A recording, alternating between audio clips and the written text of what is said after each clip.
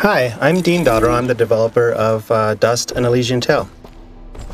And I'm going to talk to you a little bit as I show off some of the game. End of That's the line. hero, Dust. Looks like a pretty nasty drop. And his companion, Fidget. Very nasty. We should go around. We're jumping ahead about two There's hours time into the game another route. Those to kind of show off uh, some some There's new gotta be a areas that I haven't shown a whole lot of before. Well, here goes nothing.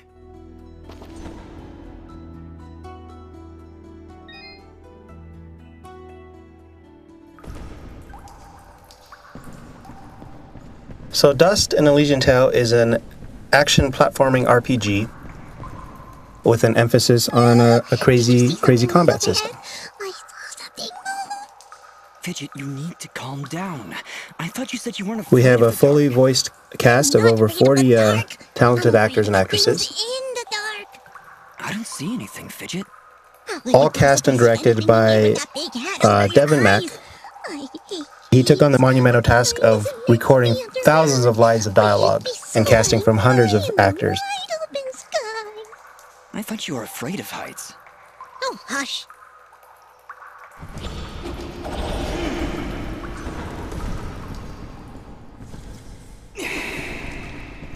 And here's our first taste of some of the combat.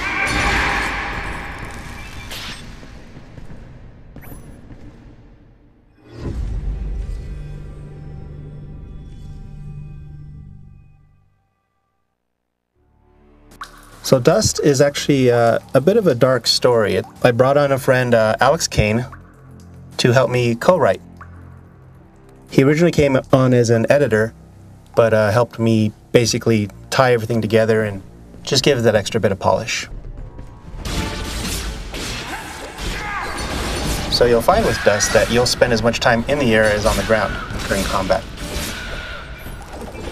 One of the goals was to make it look as flashy as possible, even for button mashers. If you don't really know how to play these kind of games and you just want to smash a few buttons, you can still make it look pretty flashy. But for those who want to take some time and learn the system, they'll definitely be rewarded.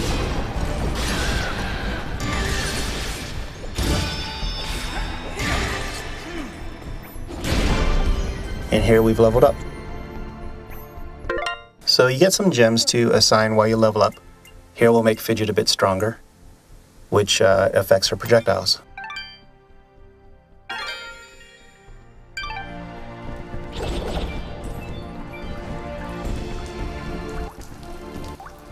It's getting really hard to see. The music in the game was handled by a couple friends of mine at uh, HyperDuck SoundWorks. They also hand- handled all the audio. And uh, some additional music by Alex Brandon, who's an accomplished musician himself. Anyone who sees that map, anyone who's like a fan of Metroid or Castlevania should feel right at home. It's uh, an open world. You'll have a world map and separate regions that get unlocked via quests or by earning new abilities. Beautiful. Do you think the villagers know about this place? That's Ahrah, who completes our trio, Clear this area. our party of three.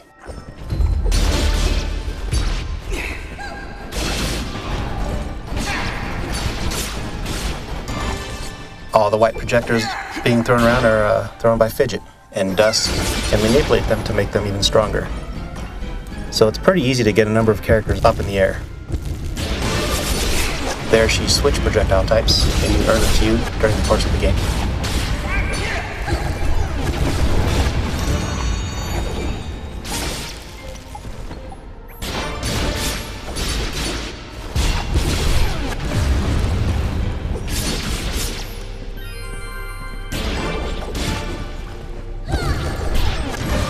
So you can see up in the top right, we're getting a pretty nice hit chain. Of course, there are achievements tied to that.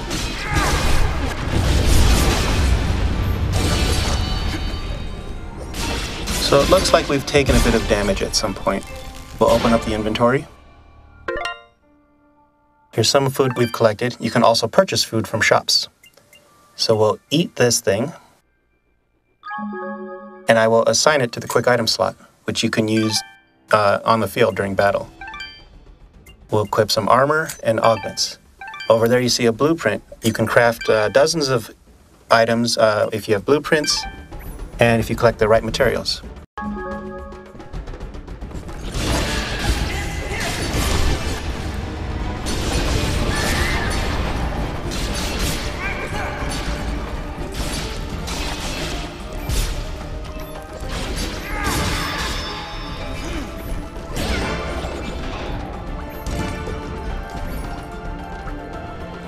Here's a treasure chest. And you get this little tiny uh, unlocking minigame.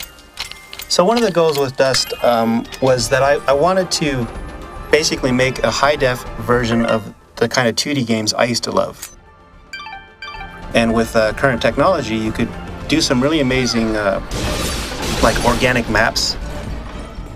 I paint each little piece and I can like arrange them and create uh, a nice variety of levels and combat arenas.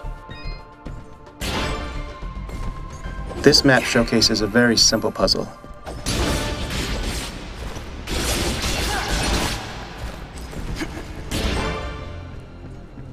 Here we have a destructible wall, but it's much too strong for your weapon. So in addition to the hand-painted backgrounds, uh, Dust is hand-animated. I use a separate animation system for the creatures but Dust himself actually uses most of the memory uh, available to me on the 360 because he's hundreds of frames at a very large size. But it's what gives him that fluid motion.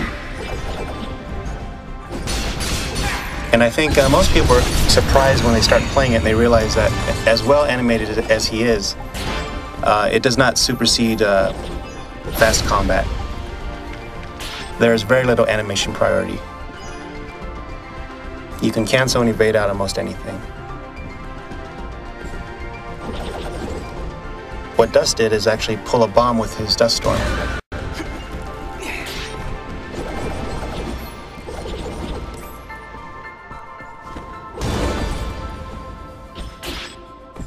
So I was always a little disappointed that with the technology we have that there wasn't more uh, 2D games.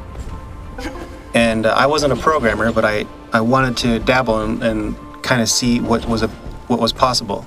The game is created through XNA. And as I learned more about programming, I realized how powerful the current consoles were and what you could do with them. And that eventually turned into this game. Dust, wait. This creature is too well defended. Here we're going to show off the uh, parry technique. We'll see about that. Oh, okay, that was a bad idea. It is practically invulnerable unless you stun it with a parry, like so.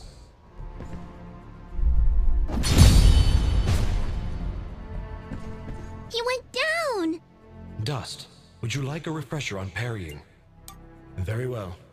Be careful.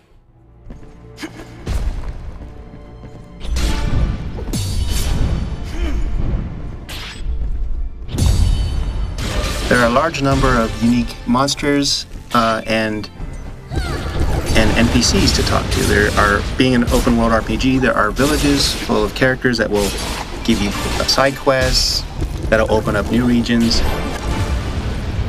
just to flavor the world a bit. And they are all fully voiced.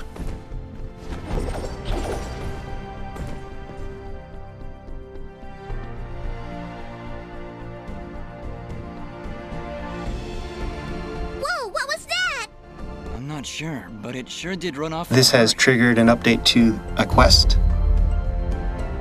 And here's the quest screen, where you can see active and completed quests and any notes you've found.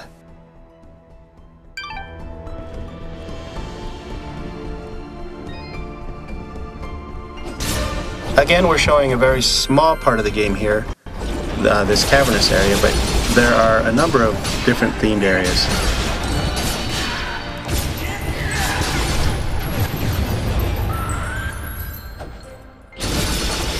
Got a fairly decent combo going up there.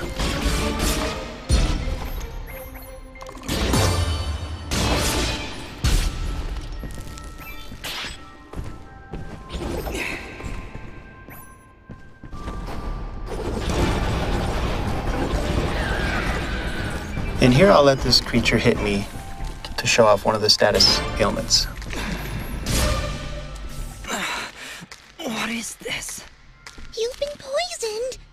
When you're poisoned, your life slowly drains down to nothing. As you can imagine, creating several portraits for each character, sometimes up to 10 per character, with over 50 characters was quite a large amount of artwork. Stop pretending you're so tough. But I didn't really want just static images of stop the poison characters, and I felt that it paid off. There, we're healing the status ailment. Well, that shows a bit of uh, Dust An Elysian Tail. It's uh, coming August 15th exclusively to Xbox Live Arcade. I hope you enjoyed watching this, and I thank you for your time.